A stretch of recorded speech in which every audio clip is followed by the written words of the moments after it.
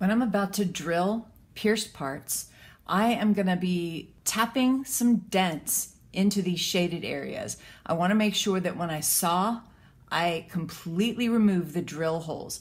But in order for me to get these pierced parts cut out, I have to have a drill hole first. So I'm going to be preparing it so that I can take it over to this drill and drill it. So first I have to tap some dents and what we use is a center punch and this is just a screwdriver looking tool but this just happens to have a screwdriver handle. The important part is that it has a pointed bottom part and this is a steel block so that we don't ever hammer against the table. This is a rawhide mallet. It's made of rolled up leather.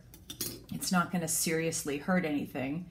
So now I'm just gonna be putting my center punch right inside of this pierce part here. It doesn't really matter where, as long as you don't ever put your dents on the lines. You always put it inside the pierce parts because you want to saw away the drill holes. So now I'm gonna be putting it over here, which is where the drill is gonna come down and through.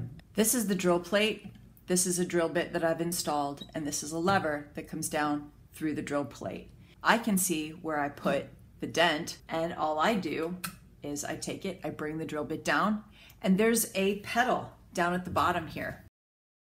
And I'm gonna put my foot on that. That's gonna get the drill going. I bring the lever down gently to line up the point of the drill bit with the dot that I made, the dent that I made. Hold my metal firmly and I bring the lever down gently. And then as it's still turning, I can line it up with the second place, bring it down and up. The drill bit has its own cutting teeth, so you just don't need to put a whole lot of pressure on this drill bit. You don't need to bring this lever down hard because the drill bit does all the work.